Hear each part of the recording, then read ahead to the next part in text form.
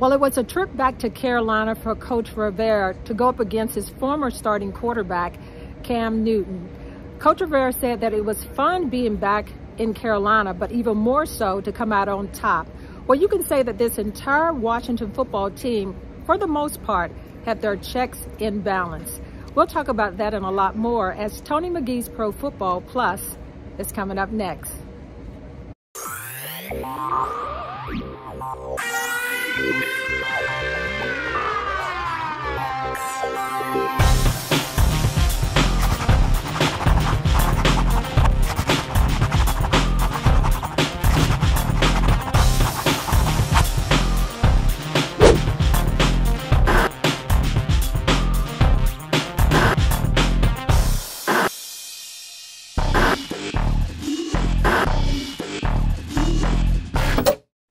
Week on Tony McGee's Pro Football Plus, we are having our Geico National Reporter Show. We're bringing in some big hitters. So get you drinking, come on back and enjoy the show. I think we're, we're getting a little feel for our guys. You know, we have some playmakers that have stepped up.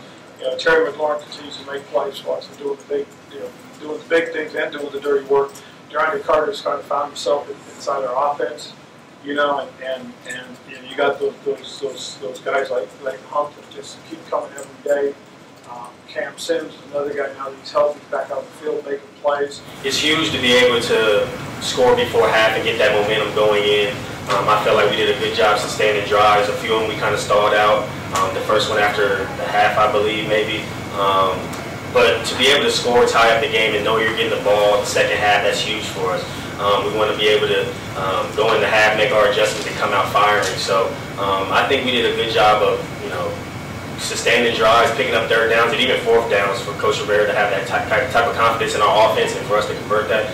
I mean, that's really huge, you know, because then you have a, you have a mindset of uh, it's four down territory. So, um, you know, hopefully we continue to keep this going. But you know, I'm proud of the way, just not myself, but all the guys around me stepped up. It's fun when you see other guys making plays and and, and the ball's flying around, touching to you know a lot of guys, and um, that's what we're going to need going forward for everybody to pitch in and, and hope to keep this thing going. I think last week was huge for us, confidence-wise. Um, you know, running the ball against those guys, and you saw it today too. Those guys up front being really physical. Uh, running backs are doing a really good job, and our receivers are getting open. Um, you know, we have some guys go down with their offensive line on receiver, and then just continue to go out there and make plays. So, um, you know, that's that's a lot of credit to the coaches, a lot of credit to those guys ready. But know, we, we just trust each other.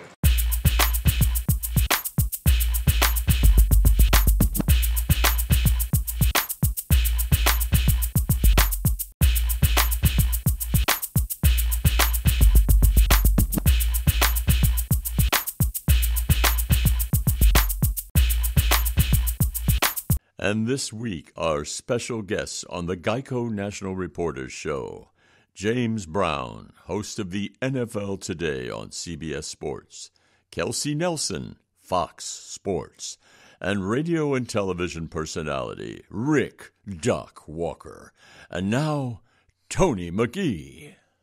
As I told you, welcome to Tony McGee's Pro Football Plus. But this is our Geico National Reporter Show where we bring in the best around the world, not just the city. We bring in the man. Now, if you know who the man is, his name starts with James. he is the man everybody knows. Next, you have to bring in the doctor. The doc is the one going to be a physician and help us get through all this. And you got Donna with the source. Then we go out and we bring Kelsey, the real host there. Now, she's hosting her own show, but you always wait for the man that can have enough money that he can burn an elephant in a rainstorm. And he's cool at that time. We talking about G. Gary Clark. Homer, welcome back. We waiting for Jerry Bell, but guys, we got something to have a little fun about. But we'll do that a little later. Washington Redskins. Two. Oh, come on. I owe I owe money right now, guys. Oh, that's a lot of money right there, Tony. First time I've done it. The Washington football team have two wins in a row. We said a couple of weeks ago, and we'll start with you, Kelsey, since this is your first time being here. We said two weeks ago they were improving. What did you see with this team on Sunday that you saw was improvement? Oh my gosh. Well, first off, two wins in a row. When you looked at the schedule, Tony, at the beginning of the season, you didn't think these were te- the games that the Washington football team could win. But lo and behold, coming back from a bye, beating Tampa Bay at home, then going on the road and a, and a win that they fought they fought to win in that last play, stopping Cam Newton. And we saw the emotions that Cam Newton had. I mean, when he went to the middle of the field and did the Superman sword, I think Washington took that personal. And this was a personal win for this football team. DeAndre Carter said it after the game. They said this was a great win for our coach. And I think what we saw was a great team game on the offensive side of the game. The running game was great for the Washington football team. The defense got to show up, and especially on third down. And we know the defense has been a laughing stock around the league. Well, guess what? I live in DC, and people weren't laughing today about the Washington football team defense because that's what we saw. They got this identity back, and they look like we knew they could be on paper. And so right now, I think we see a solid team win, and now we see a confident team going in back home Monday night game to play the Seattle Seahawks. I think for fans, we saw everything that we need to see. I'm assuming that Washington won't be last now in terms of fan attendance because fans are going to get back in the seats because they, right now the Washington football team is proving that they're a team that is worth every dollar that you pay for admission to see. So right now, Tony, we're seeing smiles, we're seeing confidence, and uh, yeah, we're seeing winning football in Washington that we like to see, and uh, winning football that we're hoping can continue. Well, let's go to the big man and watch everybody every week. JB, if you look at these guys, do you see an improvement in them, and do they have an opportunity you think to still win their division? Hey, Tony, and you know, I always preface my remarks with this. First of all, I'm talking with and to people who have put their hands in the dirt, who know the game exceedingly well. Gary Clark, Doc, yourself, Donna has been around and has learned a lot and also moved, broken a number of stories as well, too. So my all the years I've been blessed to do this, it's been from the position of asking the guys who've been there. I would never come off like I know the game so well. Now, what I can tell you from a big picture standpoint, that is easily understandable, Tony, and I look forward to hearing what the guys have to say about this. You know, eh, heavens, for the longest time now, the league has engaged in designing parity in the league, where a team can go from the bottom to the top in almost one or two years with the kind of pieces they put in place because they can't hold on to players. Jimmy Johnson said it best years ago when you're actually training guys in the four or five years that they're in your system, you're training them for somebody else because you can't keep them all. Number two, from my humble perspective, as I look at what was a very difficult offseason, pandemic impacted, the guys couldn't get out there with a number of the team activities, uh, a limited preseason and I've heard every coach say this, even though the players, and I'll be interested to hear what Gary and Doc have to say about it. The preseason really does give a coach a chance to see what kind of team they're going to have, but it's the first four games of the season where he finds out what he really has. And so, you know what? They didn't have a real uh, a, a aggressive offseason. So, a lot of teams, a lot of coaches are seeing what they have now this late into the season. That's why virtually everybody is still in the running for a postseason berth, other than teams like Detroit, of course. But you see a number of teams. There's no dominant team out there to me. Everybody has a weakness. We've seen that come forth in terms of the expression on any given Sunday. Look at some of the teams that have knocked off the better teams because they're missing some players as well too. So that's my big picture right now. Going into Thanksgiving, I'm doing a little preview that five of the six teams that are playing, other than Detroit, are all still in the mix, including Dallas, which got whipped the other day and did not look good. The NFC East leading Cowboys are certainly an indication of that. Well, you know, you look at it, Doc, and you look around the league as well. And let's let's jump back to the Washington team right now. You see the improvement in them, and the thing that I see, what you see around the league, the teams with the good offense and defensive lines are the team that's starting to show right now. The skilled people are very good, as we know. But Doc, when you look around here, look at this Washington defensive line. I have a question from Tamika out at Geico. She said, "Did this line on Sunday play better than they played before with two individuals that are not starters in it?" Doc, what do you think? Well, James hit it right on the bullseye. Toohill, when I mentioned Williams and Toohill, you got to go get a program if you don't follow the team. But mm, we've never handled success well here because our management is so in flux. We've never really had a stability. What I'll give them credit for is when you go out and you pick a Bates up. See, to me, teams that win championships win from the fifth round to the seventh round. Mm. So they have value. They're able to balance the cap because they have good players they don't have to pay yet. The bad teams always pick higher because they are bad annually. And they make mistakes because they have a low football IQ. And they go after glitz and glamour. So we know it don't matter what round you drafted in, it's how big your heart is and how you practice. Well, we had a lingerie training camp where the coach didn't even play rookies in the third preseason game. And I'm thinking to myself, I'm like Lombardi, what the hell is going on out there? What the hell you not playing a linebacker in a game? Lingerie, so lingerie. His, his development was because of their ignorance, in my opinion. And so now he's developing because he's playing more. So it's always pilot error in this league because the league is it's just so many have to have nots all on the same staff. So the less by reduction of number one draft picks, guys that don't want to get vaccinated, I get rid of all of them. Don't want to play a certain position. If Landon Collins, you don't play where I got you, you be gone. I can't win with you. Why in the hell would I be worried about trying to secure you?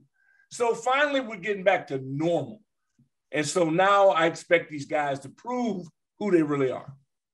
But you know, and you look at this team, and what I like about it is getting back to normal. You got the offense, defense, and special teams playing well. You've made some moves in the latter weeks that looking really good right now. But gee, I want to come to you with these receivers. I'm back. I'm still on Washington right now.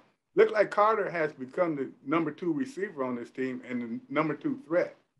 He's definitely a big play factor. I mean, his punt return, kickoff return specialty is awesome, but he's making plays, and that's key. You want playmakers on your team, and he's definitely become one of them. You got somebody to help Terry Mack out, and quite honestly, Sims Sims played well. To he make touchdowns, but he needed to make a touchdown as well. So you want playmakers on your team. Somebody may be carrying. Terry's going to probably carry the majority of the load this year, but to know that you got somebody to help take that pressure off of you when they are keying in on you, that's huge for them. That's happened the last two weeks in a row. And Don, as you look at this right now, and we got to take a look at it when we talk receivers. Let's jump over to the quarterback situation. A couple of weeks ago, you said keep Heinicke as the quarterback. He's been playing well. He's still a 50 man, 50 50 man. I gave him a B this week because he did some good things. But do you think that this could be the quarterback of the future for the Washington football team? Okay, Tony, pump your brakes a little bit. I won't go that far. I, I, I no, you went that far. Oh, don't no, bring me back. Say, I didn't say that the quarterback of the future was on this team, but let's take it for what it is. Uh, Taylor Heinicke is playing well the last two weeks. What you've seen with him is he settled down. Uh, he played. I mean, you know, his pocket play was better. We all always knew that he could run the ball and, and get away, but as Ron Rivera said, that he holds on to the ball a little bit too long but overall, he likes what he's seeing. He said he's seeing the field, seeing what's there right now. And that's what he did in that Carolina game. But two plays, Tony, I want to talk about about Taylor Heinicke is just before the half, Washington scored a touchdown. And, and the way they scored was brilliant because it was fourth down. He hit Carter for to extend that play on the fourth down play. Then he hit Humphries.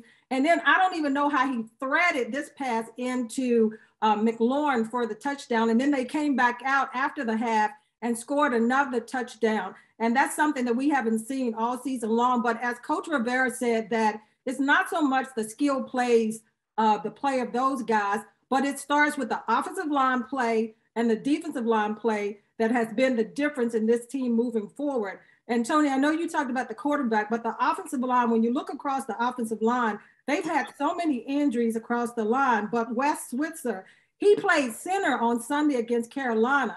He's been moved from the left side to the right side. And then you got Cornelius, Cornelius Lucas, who has also played well. So the offensive line is beat up, but they they are playing pretty solid as a unit right now. And I think, like I said, take Taylor Heinicke for what it is. He's just playing good ball right now. He's settling in as the quarterback of the future. As I say, Tony, pump the brakes. Oh, you never did answer that question. He's not the quarterback of the future. You know that. You, you might as well answer it. I'm not letting you off. And when you talk about the quarterback of the future, JB, I'm going back. This team a few weeks ago showed Tampa that we can beat Brady. Now you're looking at Brady from, and, and Tampa from that game, and Emma from Geico have a question she wanted to ask. She wanted to ask you, do you think Tampa Bay is strong enough and with Brady can get back to the Super Bowl. You know what? And and I, you know, when to see those are the questions, and I maybe it's a fault of mine because you know Gary and and Doc and you have been there.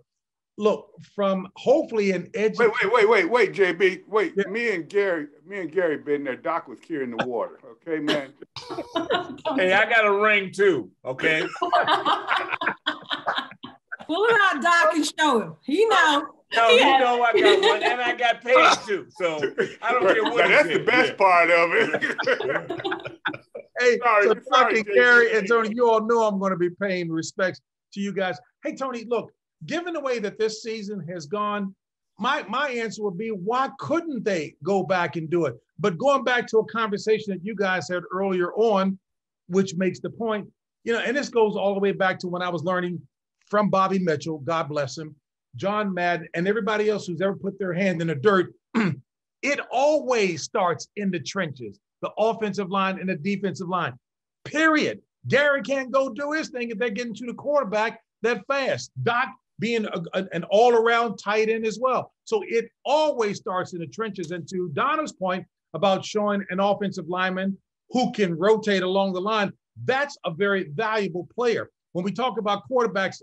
So the answer to our question is sure they can get back, but you know what? There are a number of other teams in that equation. If they get it together going down the stretch, they're capable as well. And again, I, I loved hearing coaches talk about the first four games, although we got to add another game to the season this year. Usually, the first four games, Tony Dungy was saying the same thing, is when you find out what your team is really like. The middle eight games is what they call navigating the murky waters of the season, trying to stay healthy, trying to develop some type of momentum so that when you get to the last four games, again, I know we add another game to the schedule this year, that you've got some momentum going, hopefully relatively healthy going into the postseason. Well, look at how late in the season now we're seeing some teams still struggle with that. Injuries absolutely is a factor. Many coaches will point back to what didn't happen in the OTAs and the preseason to explain that. But there's so many teams. We've heard people talk about the Buffalo Bills. Hey, how much are they putting on this young fellow, Josh Allen? Although Leslie Frazier, and we better do our job talking about him because he has flat out been getting it done as a defensive coordinator there. Yes. Uh, you talk about uh, Taylor Heinicke. Hey, you know what he has at least done for himself is get himself another five, six, seven years in the league, if as a backup. Look at what the young mm-hmm. kid down in Baltimore did, coming in, uh, you know, a bigger, if you will, um, Lamar uh, Jackson. But look at what he did. He has shown that he's got the ability. Heinicke, by the way, is bringing some intangibles to the table. I love the moxie of this young man. I love how he gets knocked down, but he picks himself right back up. He's showing some mental toughness. He may not have all these other things to be a bona fide number one, but he's showing me that he's got some more years in the league, just like the young fella Huntley down uh, in Baltimore did, he's shown that he should be here as well too. Those are my thoughts. But Doc Gary, you all rip me a new one if I'm off base on that. Uh, no, you right on time on that. Why you ask the doc like you? What you ask the doc about? Come on, man. This ain't Tiddlywinks. This is football we talking about. Milton, I'm sorry I ain't got to you yet, but I'm giving you time to say a prayer. And you know you're a homer anyway. But when we come back, Milton, I want to ask you about these running backs. Are they good enough to take this team where they need to be? You got the strong offensive line, you got a quarterback playing well, you got good wide receivers, but the running backs may be the key. And when we come back, ladies and gentlemen, when you said Heinicke, he can get a backup job, what you guys do not realize, when he get one, he'll be making more than our starting quarterbacks did in the Super Bowl. We'll be back in a moment.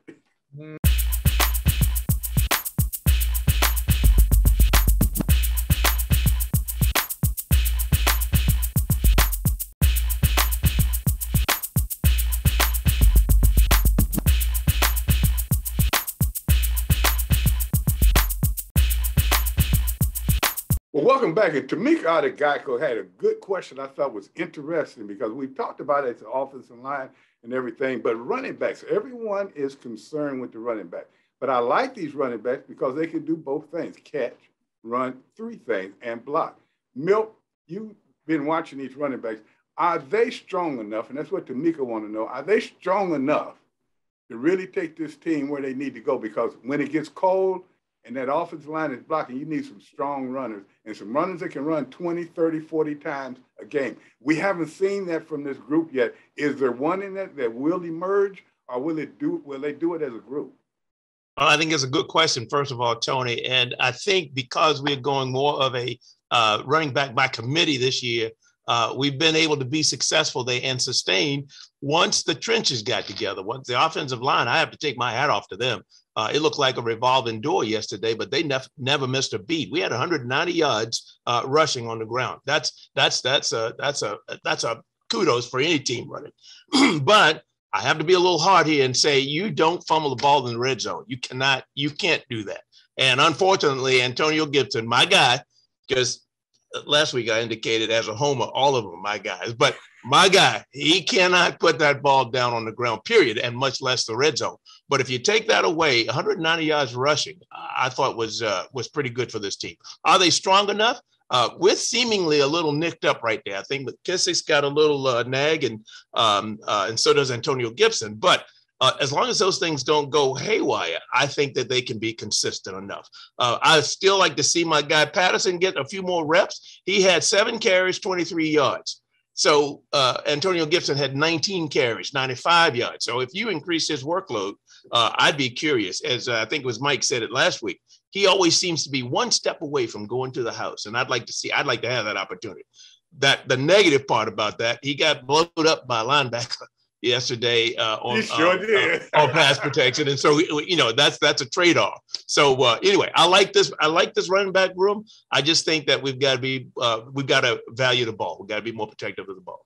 Hey oh, Tony, can I jump in with the running back? What was interesting in that game is after Antonio Gibson fumbled the ball, they set him down for the rest of that that first half. But then uh, uh, he they went right back to them him, him to, in the second half, and he had a strong game, probably his best game this season. But I think that Washington in that Carolina game established a run and stuck with it a little bit more than they had in previous games. But as Milton said, that he cannot put that ball on the carpet. He's had three fumbles this year. And, you know, they're still going to go with him. And I think that was good to throw him back out there after they settled him down a little bit. Well, you know, we're going to jump around a little bit. And Kelsey, I want to ask you this. When we talk about running backs, I look at the game on Sunday with Tennessee involved. Here I am thinking Tennessee finally got themselves together. Now that the big running back is out, they got Peterson there. Do you think that this running back, Peterson or anyone, can help them get to where they need to, to go? Because I did not think they would lose that game as they did Sunday. Yeah, I think that was a loss that surprised many people, Tony. Like many people are saying all things might go through Tennessee, and many people are liking the Tennessee Titans and what they've done so far. And I think they have kind of been a surprise team that not many are talking about. But let's just be real, Tony, all right? We all know football on the show. No one can replace, I call him King Henry, right? Because Derrick Henry can run that football. I mean, it's just when he starts coming, I mean, it's unreal. I mean, he takes defenders with him. He's fast, he's strong, he can do everything. He's the dream running back if you're a coach. And of course, Adrian Peterson Peterson, a legend, an icon in the game, and everyone knows, but he's just not the same AP. And I think when you take away Derrick Henry, he's just very hard to replace. And Tennessee relied so heavily on him. So I think when you take Derrick Henry out of the mix, and I think when you look at that game and you see why they lost, it's point blank period. And i think even they were surprised and i think even they were stunned. And i think tennessee is going to have to now go back to the drawing board if they truly see themselves as a team that can go far in this league. But again Derrick henry he's Derrick henry for a reason. He was talked about before he got injured as a possible mvp for a reason. Derrick Henry can change football games. You look at someone like Derrick Henry and what Alvin Kamara has been for the New Orleans Saints. And when he's out of the game for the New Orleans Saints, that's a different football team. And AK, I mean, he does everything for the Saints, right? He's a big part of that offense. So I think Tennessee, again, they're trying to rebuild, they're trying to rebound, but some people just aren't replaceable. And I think Derrick Henry has kind of proven that. Do I think Tennessee is done? No. But again, I think that game was a wake up call for Tennessee, much like the Ravens last game, losing to the Miami Dolphins was a wake up call for that team as well. Well, I hope they have a wake up call, but Derrick Henry can make you change your career the way he runs. oh, yeah. you, you got to have a guy like that. He messed around and, and, not having him, but as I look around and I look at this Washington team, I'm going to jump on another strong part that defensive line. And I'm going to you, Doc, because I, you've been watching them very good, very long. And I tell you what, the two defensive tackles, each and every week, they're getting stronger and stronger. Now, defensive lines around the league, one that I want you to tell me about, Doc, and I and I know you've been watching them, and the team is starting to play well. Is San Francisco's defensive line? They are well, the whole back. team. Yeah, the whole team was just a byproduct of they were hurt, and at every level, the great teams have a ex- exceptional player at every level, D line, linebackers, and secondary. Theirs happened to be right up the middle. So when you have three Pro Bowl talents like that, now, everybody else that chips in that wants to get paid makes icing on the cake. This league is about having stars and having guys who want to be stars because you got it's so competitive, you can't let an injury take you out of the picture. And the only reason an injury deflates your team is that you pick wrong backups or you don't practice hard enough. People aren't competitive enough. Competitive people, don't matter selection of a draft, that's all there's no direct science to it. Most NFL executives are moronic because they're friends and family. It's the worst development of management in our culture because you get paid no matter how bad you are. So this what they built insulates ignorance and allows them to keep jobs after failing year after year after year. That's how the Jets are the Jets.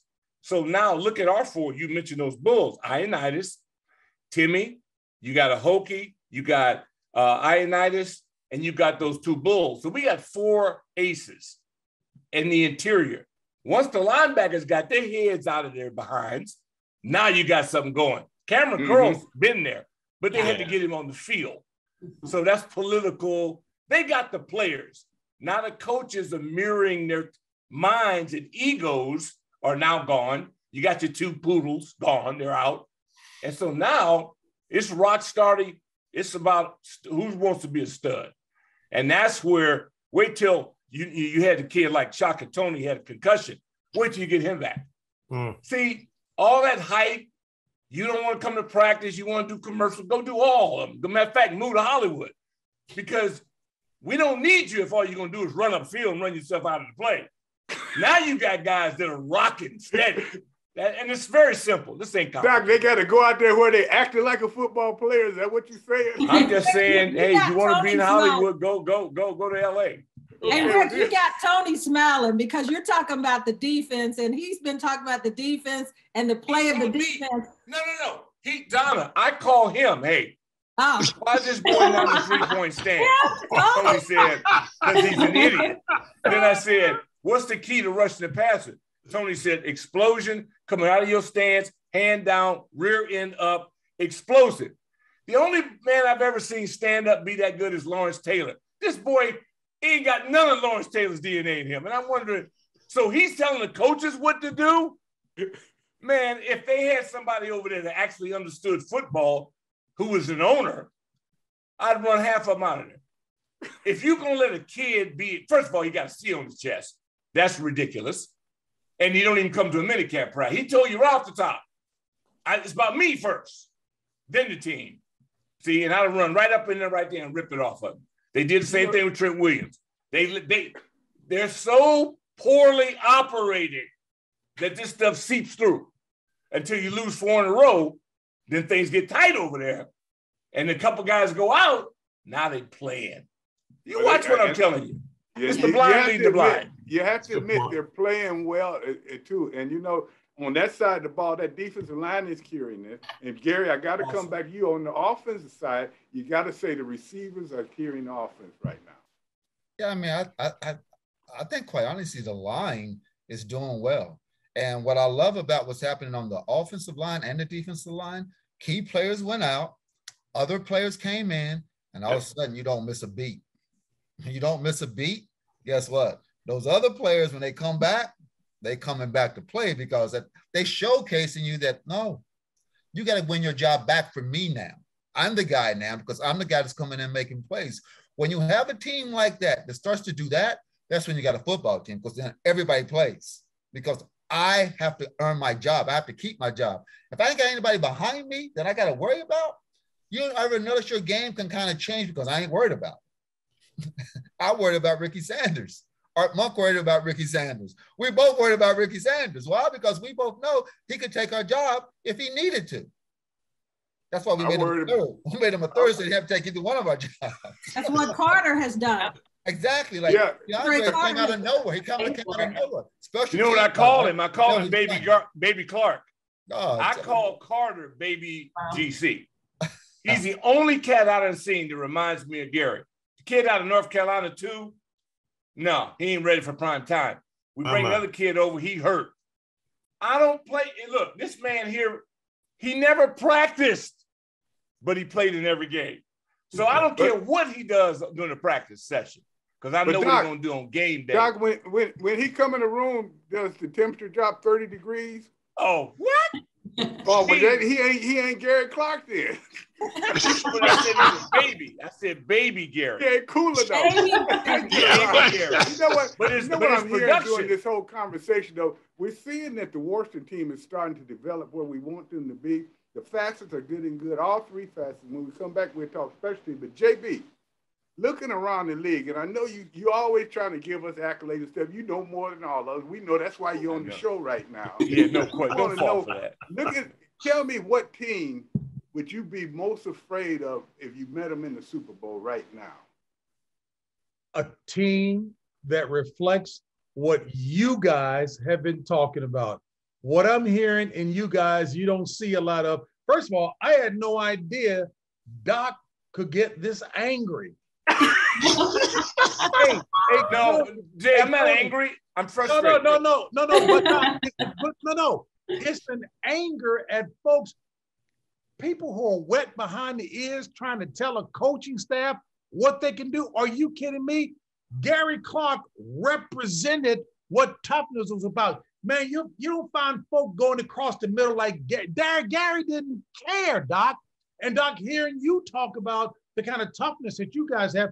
I don't see that in a lot of teams. You mentioned mm. San Francisco. If they point. get healthy and they decide to play physical and hard hitting, whole lot of guys' hearts gonna go back over on the sidelines. You understand? So San Francisco would would scare the daylights out of me if they get healthy and they get those guys back and they play with the kind of toughness.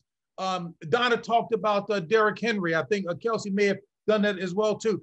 Derrick Henry. I mean, to me, he reminds me of a modern Jim Brown. And that y'all know the story about Jim Brown. Jim Brown used to run so hard, he'd be carrying five and six people with him, and the guys be, "Hey Jim, could you please slow down? My kids are watching on TV." Same thing with Derrick Henry. He's dragging three or four people, and ain't no smile in his game.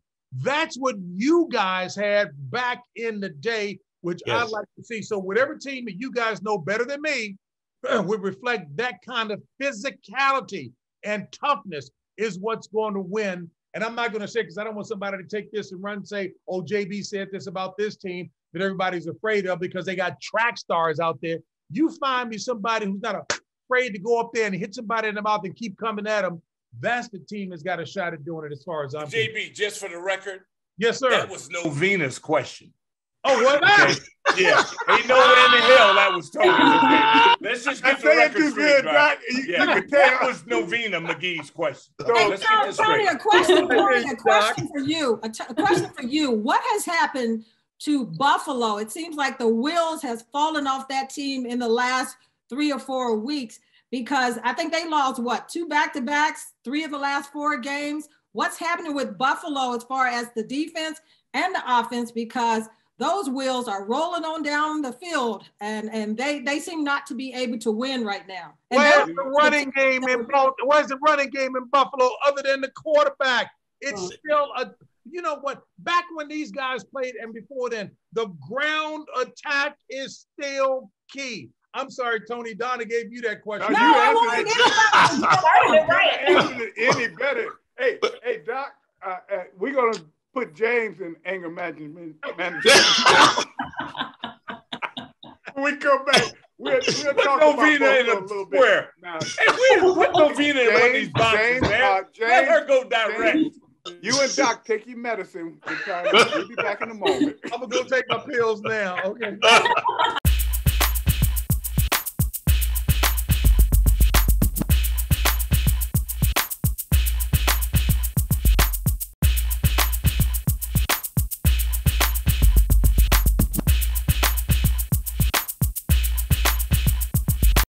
come back, Homer Jones, I mean, preacher, uh, uh, I mean, Milk had a question. He and we were asking Milk, why, what's happening with Buffalo right now? Now, one thing we do know, Buffalo is a pretty good team, but it seems Milk, as though they've been figured out. And you say it's some something they're not doing now that they were doing in the past. What is it they're not doing that makes them the dominant team that they were a few weeks ago? Well, Tony, I think the template has been set as how you succeed in the NFL. You have to have a ground and pounded element to your football team. We've been screaming for weeks trying to get the Washington football team to be faithful to the run. And so uh, Buffalo, I think, is being exposed now because defenses have found a way to stop uh, the quarterback up there and to default back to a running game. That running game wasn't there to begin with at the beginning of the season. I think they had Singletary, and you know he was just there for for for team dressing. And so uh, now that they need a running game going into the latter part of the season, uh, especially if you're going to go playoff time uh, or you have aspirations to go playoff, you got to have a running game. And so that's that's why I think the hey, Buffalo. Hey, Milton, Kansas City doesn't have a running game. They just beat you through the air. Well, and what what what Kansas City has? Well, Kansas City does have a Patrick Mahomes, Mahomes. Yeah. and so that's the distinguishing difference there. Uh, uh, uh, they brought back uh, um, this past uh, weekend. So they will get better in the running game. They've had a running game, but I'm just saying any team that's going to be consistent and show up uh, and and and and be respected in the uh, uh, postseason play, you've got to have a running game. And I don't know of another team that's done it any better if you wait over my tenure than just watching uh, uh, uh, uh scripts uh, designed for John Riggins to just go left, just go right, just go up the middle. It's the same thing, but you got to be able to run the ball. You got to be. JB, you see how he got he got Washington back in there. He brought John yeah. Riggins back out. That's what I'm on. he, he worked his way all the way around. Hey, Kelsey, now he's talking in, in the AFC, and we're looking at them a few weeks ago. They we said they were the dominant team. Right now, do you think they're the dominant team, or do you think they have flaws enough that some other team, and you tell us which one, are, is one that needs to be watched? Yeah, you know, I think he makes such good points about Buffalo, but I think the fun thing about the AFC right now is that it truly is anyone's game because all of these teams, it's like one day they look like this, the next day they look like that. And I really am trying to find who the real team is in the AFC. And I'm going to go right over the highway. All right. I'm looking at Baltimore. I know there's many questions about the Baltimore Ravens, but when you look at the Baltimore Ravens, I know their defense has been abysmal. Like this is not the Ravens defense that we've come to know as of late. But also let's remember this is a Baltimore Ravens team that at one point had 16 players on IR. And we've talked about on the show players stepping up. They've had playmakers step up on both sides of the football. Lamar Jackson finally has weapons. Mark Andrews is a tight end that's not talked about enough. When Lamar is able to connect with him, they are very good together. When Marquise is Hollywood, and I, I use his names interchangeably. Sometimes he plays like Marquise, sometimes he plays like Hollywood. But when he's able to hold on to that long ball and play like Hollywood, Lamar has that there. And then you look at also Lamar Jackson.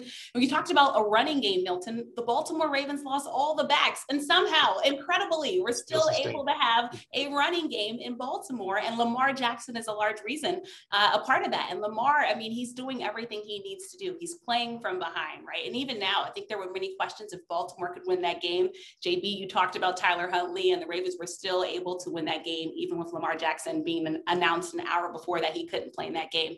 I think I look at the Ravens because they're scary because you just don't know which team you're going to get week in and week out. You might get that team that lost to Miami, or you might get that team that beat the Kansas City Chiefs with the Baltimore Ravens, right? So you just don't know. So I look at Baltimore, they're as good as their wide receivers. The Sammy Watkins can be solid, uh, Duvernay, and I mean, so many other playmakers that they have on that football team. If everybody steps up, as the Ravens have shown they can, and if the defense can get back to being their identity, I really do like the Baltimore Ravens. I think they're tired of being second place in the AFC all the time to Kansas City. But I do have to mention too, Tony, Kansas City is hitting their groove at the right time, yep. right? Kansas yep. City is hitting the groove at the right time, and it's scary. Patrick Mahomes and everything is working, and you best believe that win over Dallas has Kansas City riding high right now, feeling like themselves once again in November when it matters very much in football. But again, watch out for the Baltimore Ravens. John Harbaugh is a proven coach. Lamar Jackson, I mean, he's proven he's Houdini and can get anything done. And when healthy, we talked about also the vaccination. Lamar Jackson's vaccination status bothers me a lot. His third illness this year. But if Lamar Jackson is healthy, watch out for the Baltimore Ravens. And I like Baltimore. You have some great points there at the same time. They depend on Jackson too much. And if anything happens to him, the whole thing goes down. Even though they have a good defense, a good running game, with everything, but he stirs the pot and makes it happen. Now look at Kansas City, and I tell you, you tell you what, JB, uh, the young young quarterback was having Mahomes was having his problems a, a few weeks ago, but it looks as though he's come around. But that defense, to me, even though they had a good game on Sunday, is still questionable of them being a top tier team this year. You know what? And I look in all the years that I've been blessed to watch and cover the league and talk to guys like you to get some insight you know, defense still is the difference maker. Look at what Tampa did last year against Kansas City with that defense. I mean, they hit him in the mouth. They were tough. I mean, the defense. What, what's the defensive coordinators down there? Come on, what's his name? Are you talking about Todd? Todd, Todd, Todd Bowles. Todd, Todd Bowles Bowles. Todd Bowles had the perfect game plan for them. Kansas City still doesn't have a powerful running game. You still need those fundamental elements, Yeah. from my humble perspective, to get it done game in and game out, and certainly at the big time. You know, you talk about Baltimore. Look at the number of running backs that they did lose early in the season because they were going to, that's right, Doc, three of them. Now, the difference is Lamar Jackson, he's a preternatural talent because every defensive coordinator is still worried about him. Marquez Valdes Scanling, uh, Scanlon with the uh, Green Bay said it best when he tweeted this one game because everybody's watching Lamar. They still got a scout on him, so he is the run game. So if he's a, if he's attracting attention, somebody all they need is just a little bit of an opening, and Lamar can give them the ball. But I love what MVS said. Eight different. He's a different dude altogether because they're still looking at him. But you know what? A team that could potentially, and I would listen to the three of you guys who played the game to see whether or not they've got enough other weapons there. But that young fella, Jonathan Taylor with Indianapolis, the boy flat Bull. out and played, bull. and he got Bull. it done. And if in fact they continue to ride him, just like when uh, Donna and Kelsey were talking about Derrick Henry, people, uh, the guys on our show this past week, they were saying, who's the real MVP on Tennessee? Is it is it Ryan Tannehill or is it Derrick Henry? Man, it's Derrick Henry. Give me a break. and, and I love Brian Tannehill. He's a good dude. I like him. But he ain't nothing without Derrick Henry back there. Your goodness. Get. And now Carson Wentz can be a little bit better at making decisions with that young fella, Jonathan Taylor, who can flat out ball. He can get it done. And O line and their defense, Oh, they Doc, run to the ball. O line. Hey, Doc, talk about that O line. Well, Yeah. they- the O line, D line, the Colts have the whole thing. It's about hmm. two Wentz, who's a nut, but I mean, let's face it. But what quarterback has been really good is not. I mean, so I'm just telling you, you're right. Indy, the horseshoe could come out of this thing on top. And Let, you let me lay a what? little. Let me lay a little. whoa, whoa, whoa, hold on, hold on, Homer. I'm gonna get you when we come back, but you know what? We got a DJ down here, and when he says the right thing, everybody holler, say, "Say it!" Y'all said the right thing, right? Without the running back there, nothing. When we come back, I'll get that from you, Homer. You too. We'll be back. in a moment. There's no Vina. Welcome back, and as you know, we were just laughing during the timeout about things changing around the league and people changing everything. And Milt, you were making a point when we went out. Uh, you want Yeah, to I just, that? I just wanted to say real quickly, and I was glad that JB brought it up. When we look at Jonathan Taylor and that running game out uh, out there at uh, Indianapolis, um, um, and being a home, I wanted to give a shout out uh, to John Settle, who used to be a running back here for the Washington football team, and he coached the linebackers, I mean, the running backs uh, for several years out there in Wisconsin, and he had Jonathan Taylor, so he's done a great job with him. He ran hard in college just like that, and he's only gotten better in the pros. So I, I say kudos to that. He's he's a beast. He is a beast. Hey, Tony, Kelsey, one who- who- team that we haven't mentioned, and I know we've been talking about other teams, but Arizona. Nobody has mentioned Arizona because when you look at them, when they get Hopkins back, they've got the offensive line that's playing well. They've got a great defense out there. They've got a running game. To me, they are a complete team uh, when they get some of those bodies back. And we haven't mentioned Arizona, and they're quietly just rolling along in the NFL. And I think that's the team to watch also. I do too because they got a lot of parts and they won without the quarterback. And I tell you, that's very important. And JB, you had a point you were making. Well, I wanted to ask Gary Clark about the Dallas Cowboys from the standpoint the last, it seems to be three, four weeks. The running game just hasn't been there. I'm, I'm thinking about the numbers in, in very general terms about Ezekiel Elliott, and they're just not getting it done. What's happening from your perspective? I just think Ezekiel's not healthy. I don't think he's fully healthy, and I think he's he, he's playing hurt, but he's and look, he got a little nicked up again on a play. But number 20 is not a bad running back for Dallas either. Oh, like, he's awesome. Coming out of coming out of nowhere. And quite mm-hmm. honestly, it may be a reason why they may try to push Ezekiel out. But if he goes somewhere else, he's going to be a killer. He's going to kill wherever where he goes. I mean, he's just. That's why Ezekiel's playing playing hurt. That's why he's running hurt because Pollard is pushing him for his for his spot. I believe. Yeah, yeah. I, I would play hurt. I played hurt because you got great players behind you that could actually take your position. So you're going to play hurt. You just got to perform when you do. Hey, hey, Comer, if you don't play hurt, you'll play hungry. but really has Ezekiel, but really has Ezekiel played well the last three years. I mean, to me, he hasn't played well since he came back from that one injury, and he hasn't been the same since then. Uh, I don't know if it's, you know, as far as, like you said, the offensive line, but to me, he hasn't been the same player since he came back from that injury when he was out almost like that whole year. Kelsey, you you agree with that, huh? Yeah, his production has definitely went down. I actually talked to his father, Stacey Elliott, earlier this year, and he said, you know, we talked about Zeke gaining the weight back, you know, really trying to put on for this team, but he just hasn't been able to do that. Now, luckily, Dallas has been solid on the offensive side of the ball. We had questions about Dak coming back. He's come back, and look, Dak is back, even though I think even he is still getting to 100%. And of course, that defense. I don't think anybody expected that defense, but also a team I'd like to mention that I think could make some noise that we're not talking about enough is the New England Patriots. I was not a Mac believer when he first came in. I had many questions about Mac Jones, but shortly and sweetly, the New England Patriots are getting the job done. And once again, when you look at that AFC picture, it's very tight. So I do think the New England Patriots are starting to earn respect, and they are a team that you do have to keep an eye on. I tell you what, I'm proud of you guys. You guys hit a lot of nice teams. I like that New England Patriots in the end. Now, when we come back, we'll tell you who we think is going to win certain games. But Mike Baker has a special tribute. We'll be back in a moment. Well, as I told you going out, we have Mike Baker. And he has some special things that he needs to say about a special individual that used to be part of the Washington football team. Yeah.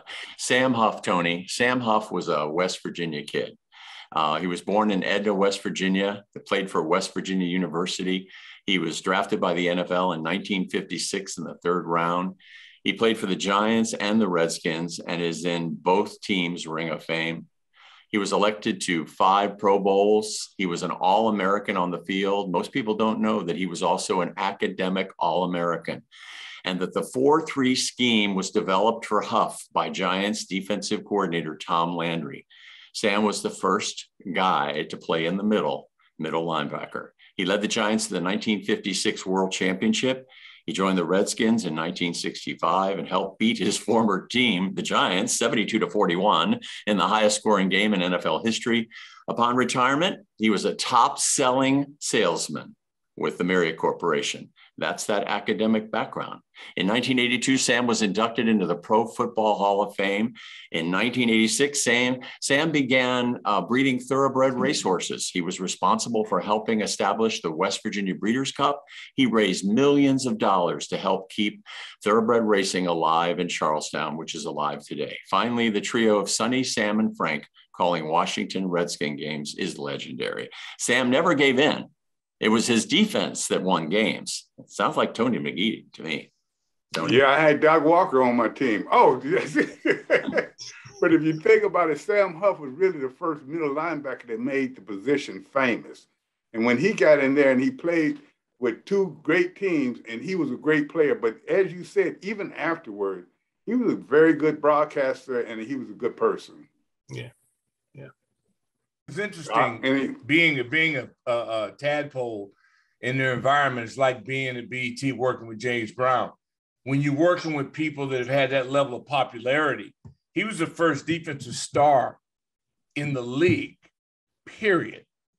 I mean, I always tell people when you were 12, who were you in the backyard? I was John Unitas until Dick Butkus. Everybody thinks Dick Butkus was the most famous. No, no, it was Sam Huff first, then Dick Butkus, then Ray Nitschke. You know, you start thinking, and then and then we never had an African American middle linebacker until the Chiefs came up and Willie Lanier. So the positions of influence and power, we were not allowed to play. So I was very focused on this. And then to meet Sam, and yeah, he was big time guy. And he wasn't a jerk. He could have high sided or whatever. Never did that. If you were a player or you played or whatever, he gave you respect. But take no bones about it. He was a linebacker on and off the field. Hey, and Doc, I loved his demeanor. Hey, Doc, and here just last week in the studio recording inside the NFL to hear Ray Lewis talk with reverence about Sam Huff just brought it home to me because I just knew him, of course, as a part of that iconic broadcast team that uh, Mike and uh, and uh, Tony just referenced. Uh, therefore, the Washington football team. Yeah. Mm-hmm. May his soul well, rest. Well, Tony's an example. I mean, most guys on defense because they couldn't play offense. So they put people back in there. So you know, if a guy was slew foot, you know, whatever he couldn't get out of his way, then they put him on defense. It wasn't until here recently to where athletes and guys, scholars started playing defense.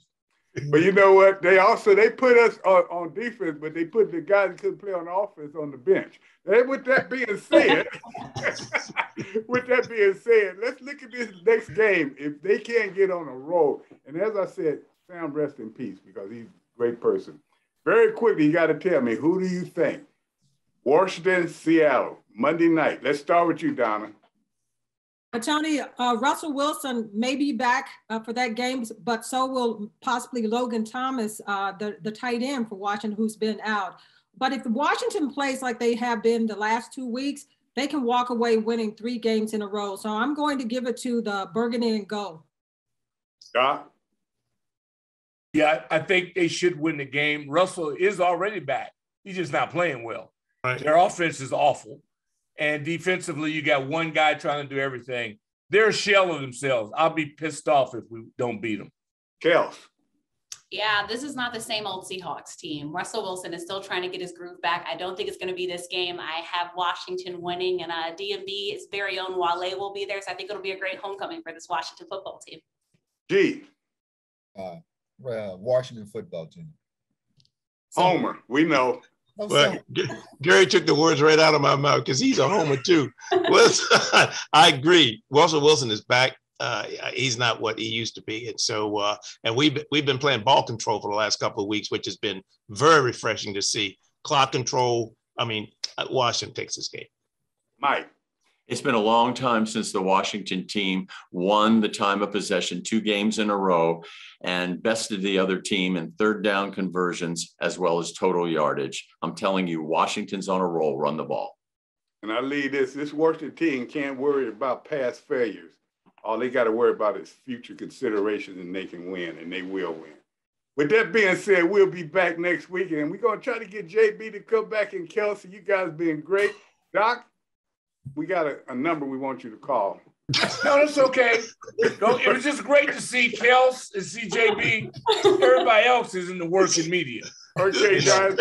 Hey, all y'all Doc, have a Doc, can you bring? Can you make sure Novena is on the show next time? I'll be. JB, hey, no, JB. Hey, JB, I can't. JB, that's never happened.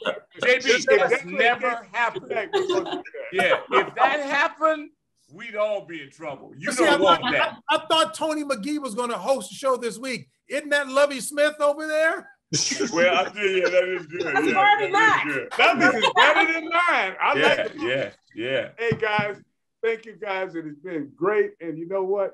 We'll be back. And if we always say, we never say goodbye, we say in the minute.